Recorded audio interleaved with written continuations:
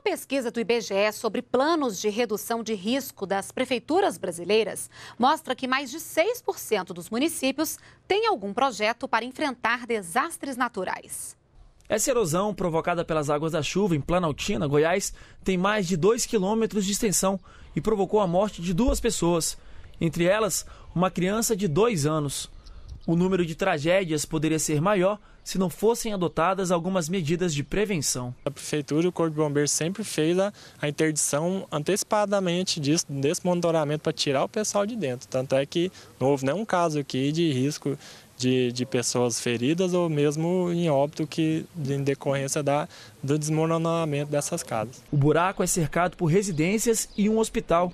Hoje, pelo menos 100 famílias vivem em torno da erosão, perigo que fica ainda maior em época de chuvas. Esse período de pré-chuva, a gente faz o cadastro de moradores para ver como que está a evolução dela, se tem caso de, de interdição de algumas residências que está em risco iminente, a gente faz a interdição para tirar os moradores e alocar em outro local. Em alguns pontos, a erosão chega a ter 40 metros de profundidade. Desde junho, a Prefeitura do município vem trabalhando para recuperar a área, com a ajuda do Ministério da Integração, que já liberou 4 milhões de reais para as obras. Foi decretado no estado de emergência o ano passado, realmente estamos fazendo a obra e sabemos que ainda precisamos de outra levada de recursos. E não é só Planaltina de Goiás que se preocupa com desastres ambientais como esse.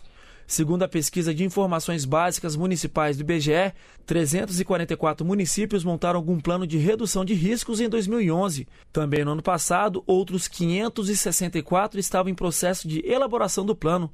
1.812 municípios declararam que estão promovendo algum tipo de ação de recuperação ambiental preventiva, como, por exemplo, drenagem urbana e recuperação de várzeas. A pesquisa vai ajudar na elaboração de políticas públicas voltadas para a prevenção de acidentes e fazer que cada vez menos possamos ver desastres como esse.